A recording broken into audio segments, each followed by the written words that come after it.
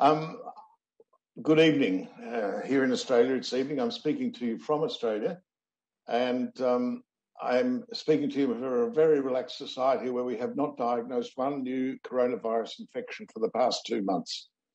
Uh, and uh, it's it's an advantage to be an island, even a big island in the South Pacific, but it's also an indication of what happens when you follow public health advice. I'm, as Morgana said, and, and um, sorry, I meant to say uh, greetings to Morgana, the wonderful Morgana, to Pavel Bem, to Michelle Kashafsky, and to the parliamentarians, and to everyone else on the on the uh, this extraordinary webinar. Uh, I am, uh, as Morgana said, the executive director of the Global Law Enforcement and Public Health Association. This is a relatively new association that was set up to promote the role, the potential and actual role of police in achieving public health goals, which to many people sounds strange because to many people in many sectors, the police are antithetical, police behaviour is antithetical to achieving public health goals. But in fact, even though they're left out of the public health workforce largely, police have an enormous amount to offer. Um, as Neil Woods, who will follow me, will bring to your attention, uh, the facts that criminalisation of drugs not only does not work, it, it, does not achieve its stated aims, but it is also hugely contra- counterproductive, causing far more harms than it prevents. This is not to ignore the fact that the war on drugs and criminalisation of drugs actually does serve to the benefit of some vested interests, but for society as a whole, it does not.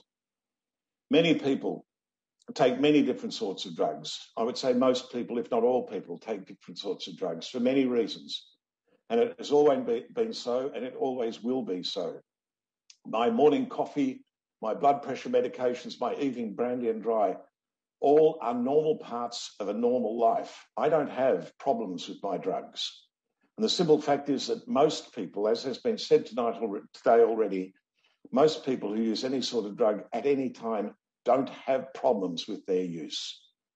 I learned a lesson. I was running a workshop in the early 1990s in southern China, um, trying to work with public security and public health to bring them together to deal to address the issues of, of drug use and harm reduction and the, the, the, incredible epidemic of HIV that was occurring at that time. Where we ran a, a week long workshop with public health and public security officials from all around China. And um, the public security officials came from celebrating National Drug Control Day, in which there were public executions of low level drug traffickers. Uh, and they uh, celebrated each night at this, at this meeting by drinking enormous amounts of uh, a rice wine spirit called Moutai, which is a 55 proof alcohol, the most deadly drug I've ever ever seen. And I pondered this, the fact that people were being executed for being involved in um, what is pharmacologically a harmless, a relatively harmless drug, that is heroin, and celebrating with one of the most potently dangerous drugs I know, which is is um, is Moutai. The problem is generally as a society, as many societies, the problem is we look at the drugs. All day today, through this seminar, we've been talking about the drugs. It's been pointed out that there are many other issues we should be confronting, but it's the drugs that catch our gaze. We look at the drugs and not at the people. I've been working in, in the areas of harm reduction and drug policy reform for more than 35 years in many different ways.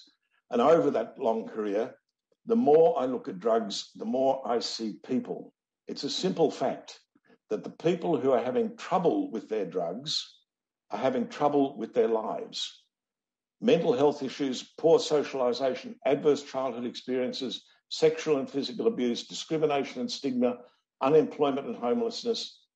These and many more factors lie behind problematic drug use. Problematic drug use as I emphasized, most people use most drugs most of the time without problems. We get it backwards. We say that drugs cause people problems. Ban Ki moon, when he was Secretary General, talking about Afghanistan, said until we solve the problem of drugs in Afghanistan, there will never be social economic development. And I said, You got it backwards. Until there's social economic development and there's meaning and purpose and, and um, and uh, security in people's lives, they will always be dependent on drugs. Research conclusively shows, my research and many other people's research shows that young people who have problems with drugs, whether you call them addicts or dependent or whatever term you want to use, have had major problems with their lives well before they started their drug use. This, the growing science around the impl- implications, the impact of adverse childhood experiences, multiple adverse childhood experiences, predisposing uh, people to all sorts of uh, adverse social outcomes, including problematic use of or dependence on drugs, is, is unchallengeable. The, reason, the reasons then for using drugs, why young people start to use drugs, include easing the pain of an existence that is sad, of, uh, to find acceptance within a social circle where, they, where they've been rejected by family, school, and society. My own research with young people and why they began injecting, why they began using heroin, going back to the, uh, in my case, to the early 1990s, looking at, at, at young people within a short time of starting to use, showed that their lives had been um, had, had been severely impacted well before they turned to the drugs. It wasn't the drugs causing their, their, their problems. Certainly, once they become dependent, the drugs continue to in, in, increase the problems, but that's largely because of society's reaction. Um, boredom and meaninglessness, and meaninglessness I would emphasize as being a really major cause of why people end up having problems with drugs. Another simple fact the thing that prevents people from, especially young people, from developing problems with their drugs is having something in their lives which is much more meaningful. Whether it's close and supportive relationships, whether it's useful and rewarding job and career, whether it's a religious commitment, it's different for different people. But having something in their lives that is meaningful is the, protective, the strongest protection against having problematic drug use. We have to recognize that we make drugs the focus of our policies so that in order that we don't have to confront the real issues that are facing young people. If we can convince ourselves that drugs are destroying our young people's lives, then the answer seems to be simple. Get rid of the drugs from the young person, from the society, and all will be well. There's several things wrong with this belief. First is that we can get rid of the drugs from society or from the young person's life. If we don't acknowledge concentrate on and respond to the real issues that are undermining their ability to have a meaningful life and, and, and, and the issues that are making them turn to drugs, then they won't stop using. If we don't invest in meaningful family support, uh, education, meaningful education, employment, training, job creation, social welfare, and all the rest, that our society will just continue to produce young people without futures for whom drugs are one of the only recourses. I can't tell you the number of times in my research when I ran across the phrase that this young person had failed school. And I turned around, oh, no, the school failed the young person. The young person didn't fail socialization, society failed the young person. The second reason why the belief is not right is it doesn't work if we do manage, if we did by some sort of magic uh, spell, manage to get dr- rid of drugs from society and from the young person's life, all the conditions that led them to the drugs in the first place are still there, and the person is still suffering. And they're suffering from what are major public health issues, some of the biggest public health issues our society faces. Some acknowledged, unacknowledged public health issues too, like loneliness, but I would include meaninglessness up there as, as, as a very major um, public health issue. Instead of treating people in these situations with a public health response, large sections of already disadvantaged communities, as others have said tonight. And thirdly, what we in fact end up doing is making things worse. We are very good at making things worse. We're much less good at making things better for disadvantaged communities. They're not disadvantaged by accident. They're disadvantaged because of social processes that disadvantage them. And we're not good at challenging those social processes. Arresting someone for drug use, sending them through the courts and to jail, doesn't make them less likely to use drugs, as has been said before. It makes them much more likely to become involved in crime, uh, more involved in crime, as well as their drug use. I think it's a sobering fact that in almost every society I've looked at, the strongest predictor of a person's risk of going to jail is having been in jail before. In other words, go, uh, jail and detention has done nothing to change the person's life except for the worse. We operate on the assumption that making something criminal under law will remove it from society. Not only does this not work, it's not true. As Neil will show, it makes things worse. Police are there to enforce the law, and the law is there to, to, to protect us. But what does it mean when the law does not achieve its objective and police are forced day after day to carry out activities, stop and search, strip searches, arrests, court appearances, all the rest of it, that not only don't work, but make things worse? Every police officer will tell you about the revolving door, arrested one day, back on the street the next. The police job involves looking at short term results. A crime has been committed, we need a response. Police generally do not ask whether that immediate response has good long, long-term effects and outcomes. They take it on trust. Somebody else has decided that if this is uh, something we want to get rid of, make it illegal, get the police to enforce the law, it will go away. It's not their job as far as police are concerned. Well, I would argue very strongly that it should be their job.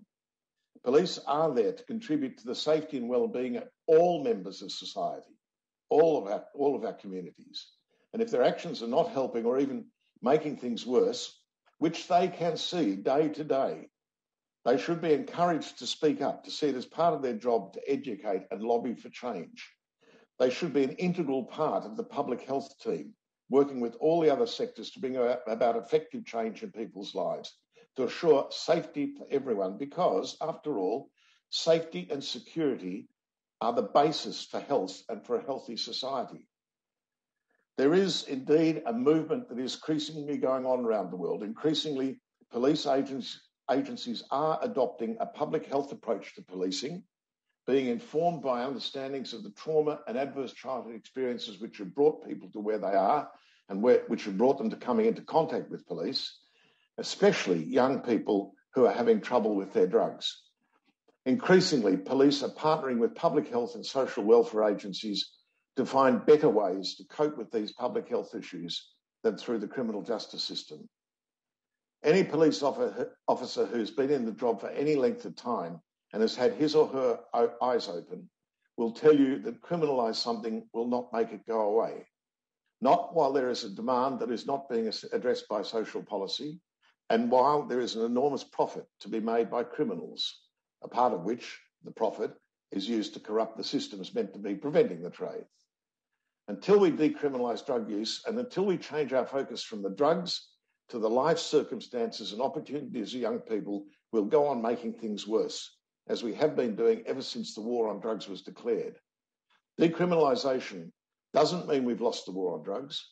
It's the sole and necessary precondition for winning our young people, winning the war for our young people. Police are too often seen as the enemy, and in many instances, they are indisputably so. Um, killing of unarmed black people in the United States, uh, corruption in a number of countries. But there are many police who are allies, real and potential. The Global Law Enforcement Public Health Association has had produced a statement of support by police for harm reduction, which was signed by over 10,000 police worldwide. A statement of support by police for drug policy reform launched in a commission on narcotics, narcotic drugs by Neil Woods, by Morgana. Uh, uh, there are lots of police who want to do things different, who want to see things different. They make great advocates, as you will see when Neil speaks. Reach out to them, is my advice. Find them as allies, make them allies because they are potent allies. Uh, work with them as key public health um, organisers. And anyone listening to this, or in, uh, listening to this uh, this um, conference, please, if you know police who are interested in doing things differently, please put them in touch with me or with Neil, and they can join a, a, a growing global community of police who are trying to uh, make a difference and um, promote humane policing as a public health effort. Thank you.